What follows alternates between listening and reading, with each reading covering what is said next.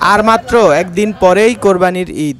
শেষ মুহূর্তে জমে উঠেছে মুন্সীগঞ্জের মীর কাদিমের আরএমসি মাঠের কোরবানির হাট। পুরোদমে চলছে পশু বিক্রি। ক্রেতাদের সমাগমে জমে উঠেছে হাট। এবছর একুশ লাখ টাকায় এই হাটের ইজারা নিয়েছেন স্থানীয় সমাজসেবক মাসুদ রানা পিন্টু। হাট ঘুরে দেখা গেছে ঈদকে সামনে রেখে মুন্সীগঞ্জের মীরকাদিম রামপাল পঞ্চসার সহ বিভিন্ন উপজেলা থেকে ভিড় করছেন ক্রেতারা।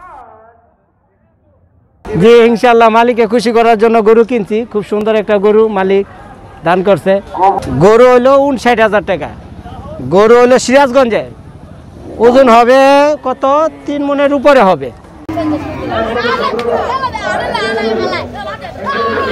এক পঞ্চাশ এক পঞ্চাশ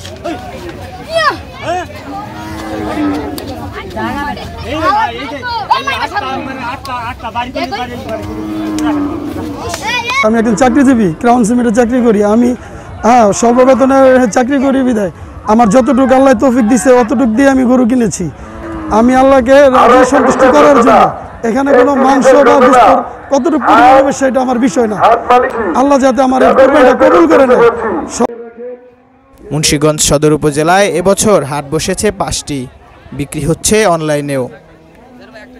ধলেশ্বরী নদীর পাশে আরএমসি হাট থেকে নৌপথ ও সড়ক পথে পশু আনা নেয়ার সুবিধা থাকায় দেশের বিভিন্ন এলাকা থেকে বিভিন্ন রং ও প্রজাতির পশু নিয়ে হাটে এসেছেন পশু বিক্রেতারা। নিজেদের পছন্দ মতো দামে পশু বিক্রি করতে পেরে খুশি বিক্রেতারাও।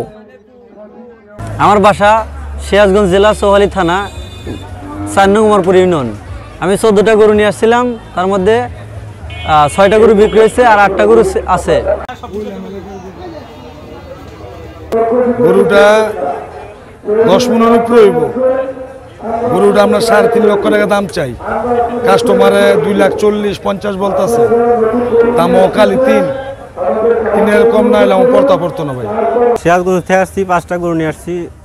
স্থানীয়দের সুবিধায় হাসলিতে ছাড় ও সার্বিক পরিবেশ নিয়ে সন্তুষ্টি প্রকাশ করলেন হাটের ইজারাদার। ক্রেতার বাইরের উদ্দেশ্যে বলতেছি যে আপনারা এখানে আসেন, গরু দেখেন। আমাদের এখানে গরু অনেক সস্তা এবং ভালো ভালো গরু আছে। বর্তমানে এক থেকে বারো তেরোশো গরু আছে। হাটটা আজকে নতুন না, আজ থেকে দশ থেকে এগারো বছর যাবত এটা ঐতিহ্যবাহী মাঠ। এটা আমার হাসলি সরকার যে নির্ধারণ করছে, তার থেকে আমি আমার আরও কম নিতেছি। পাঁচ টাকা নিয়ে কেউ তো সাড়ে পাঁচ টাকা কেউ তো ছয় টাকা। মানে মুন্সিগঞ্জের মানুষ আমার জেলার মানুষ তাদের সুবিধার জন্য আমি এই মাঠে আমি হাসলি কমিয়ে দিয়েছি। চলমান করোনা পরিস্থিতিতে হাটে আসা ক্রেতা ও বিক্রেতাদের স্বাস্থ্যবিধি মানতে কঠোর অবস্থানের কথা জানালেন উপজেলা নির্বাহী কর্মকর্তা।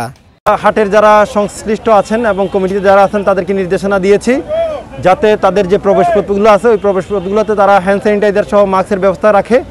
হাটের ভিতরে প্রত্যেকটা মানুষ যাতে স্বাস্থ্যবিধি মেনে চলে, এই জিনিসটা যাতে নিশ্চিত করে, তাদেরকে আমরা নির্দেশনা দিয়েছি। ডেস্ক রিপোর্ট আমার বিক্রমপুর